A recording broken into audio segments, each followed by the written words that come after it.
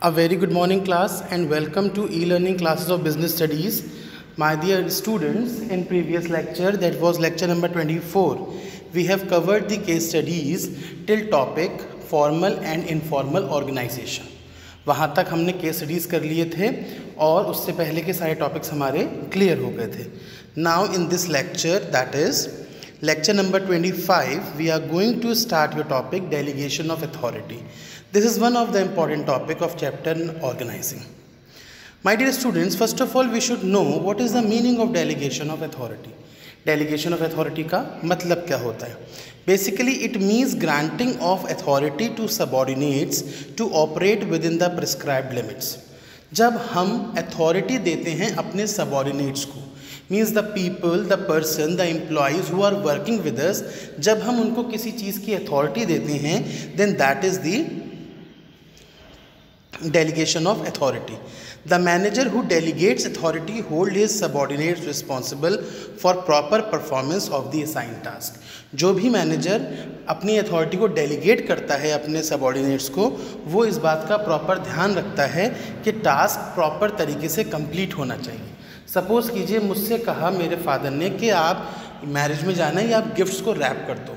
तो मैंने क्या किया? मैंने अपने छोटे भाई से कह दिया कि यू रैप दी गिफ्ट्स तो फादर की नज़रों में रिस्पॉन्सिबिलिटी मेरी है। सो so, उसके लिए रिस्पॉन्सिबल मैं हूँ। अगर मैं अपना वर्क किसी को डेलीगेट कर रहा हूँ तो no one will ask question from that person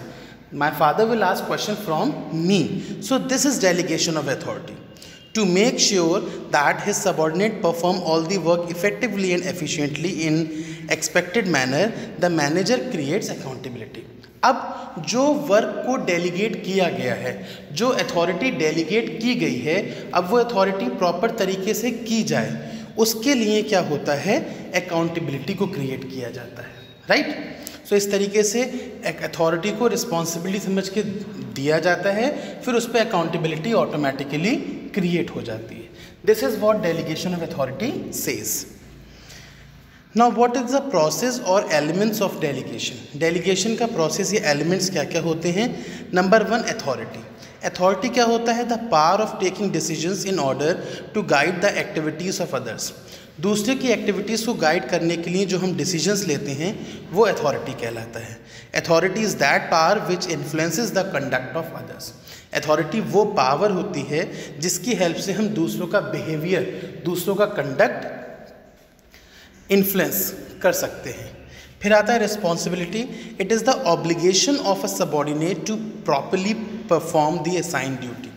जो असाइन ड्यूटीज़ हैं वो प्रॉपरली परफॉर्म की जाएँ इसका जो ऑब्लिगेशन है वो रिस्पॉन्सिबिलिटी कहलाता है। जब कोई भी सुपीरियर ऑर्डर्स इशू करता है then it becomes the responsibility of the subordinate to carry it out कोई भी सुपीरियर जब ऑर्डर इशू कर रहा है तो फिर रिस्पॉन्सिबिलिटी बन जाती है सबॉर्डिनेट की कि उसको प्रॉपरली करें। सो so, अथॉरिटी कुछ और होता है और responsibility is something different then comes accountability when a superior assign some work to a subordinate जब सुपीरियर कोई वर्क सबॉर्डिनेट को असाइन करता है he is answerable to his superiors for it success of failures तो अगर मानो मेरे senior ने मुझे कोई वर्क असाइन किया है, और उसमें मेरे को सक्सेस मिली या फेलियर मिला तो दोनों की अकाउंटेबिलिटी मतलब दोनों की रिस्पॉन्सिबिलिटी मेरे ऊपर है। Right I am accountable for these things इधर आई गेट सक्सेस और I get failure now let's have a difference between authority responsibility and accountability क्या डिफरेंस है? अगर हम मीनिंग के बेस पे देखें तो अथॉरिटी में we are having right to command responsibility में there is obligation to perform and accountability में there is outcome of the assign task origin authority arise होती है फॉर्मल पोजिशन से responsibility arise from delegated authorities and accountability arise from responsibilities authority तो formal position से होती है authority के base पे रिस्पॉन्सिबिलिटी ड्राइव होती है and from responsibility accountability is been driven flow authority is downward from superior to subordinates responsibility is upward from subordinate to superior. And accountability is upward from subordinates to superior.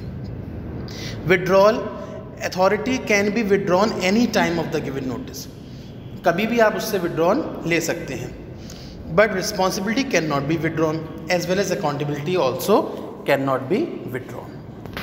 Now let's have a look on importance of the delegation of authority. Delegation of authority की importance देखते हैं number one reduction of executives workload executive के workloads का reduction हो जाता है अगर delegation of authority है तो जो भी एग्जीक्यूटिव्स हैं जो वर्क का एग्जीक्यूशन कर रहे हैं there is reduction in their workload secondly employee development employee जो हैं, वो ज़्यादा से ज़्यादा अपॉर्चुनिटी क्रिएट करते हैं and automatically the development of employees also takes place subordinates का भी डेवलपमेंट होता है एग्जीक्यूटिवस का भी होता है. Third quick and better decision are possible with the help of delegation of authority decision can be taken quickly and better decision can be taken then high morale of subordinates yes when some work some work is assigned to your subordinates then they are also their morale also boost up why because they are in condition to perform the task अब वो भी कुछ task करने की condition में हैं so automatically they are moral boost up and they also get the opportunities to display their efficiency and capacity. Better coordination, yes, with the elements of delegation, Authority responsibility and accountability helps to define the powers duties and answerability related to various job positions जब coordination क्यों better होता है? Because employees और subordinate के बीच में कोऑर्डर relation establish हो चुक हो जाता है एंड जिसकी वजह से accountability and responsibility and